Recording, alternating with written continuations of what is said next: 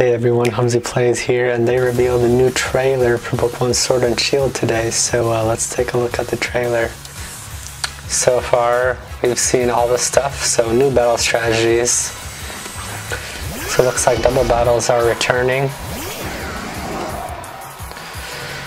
Oh, so Weezing has a new ability where he neutralizes other abilities.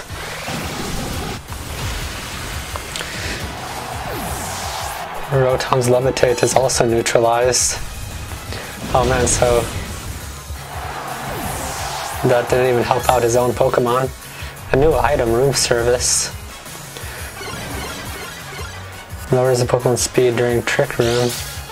Also that's good because that means it will uh, be faster because Trick Room makes the slower Pokemon go first.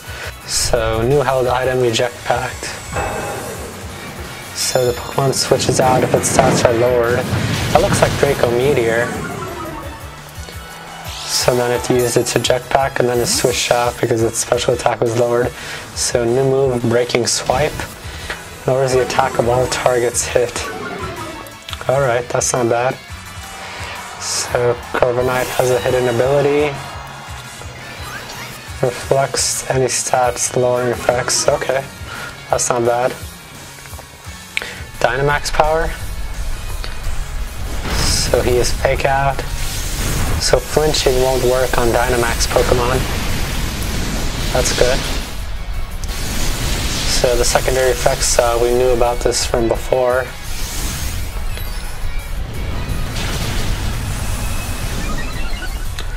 Oh, so it raises his stats when he uses a move. So from before, uh, we knew that there was like field changes, but I don't think we knew that uh, some stats were raised.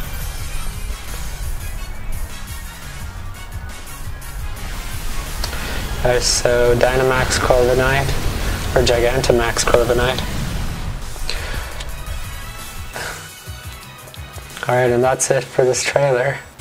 So since Weezing has the ability uh, neutralize, I guess, um, he doesn't have the ability to levitate, so that earthquake would have uh, hit him and probably been super effective on him. So, I mean, that ability can be useful, but it can also uh, not be good because, like, your own Pokemon is uh, vulnerable to having their ability lost. So yeah, Trick Room is one of those cool moves that uh, makes a slower Pokemon go first for five turns. So I think these moves are more geared towards uh, competitive battling because they're mostly stat changing moves and also may be useful for people who want to battle competitively. Dynamaxing and Gigantamaxing your Pokemon is going to completely change the game and uh, it's going to completely change the way battles are done and just like how uh, Mega Evolutions change the game, how Z-moves kind of change the game. I think uh, Gigantamaxing and Dynamaxing are also going to change the game. So that's going to do it for this one. Hope you guys enjoyed. Make sure to like, comment, subscribe if you want to see more, and I'll see you in the next one.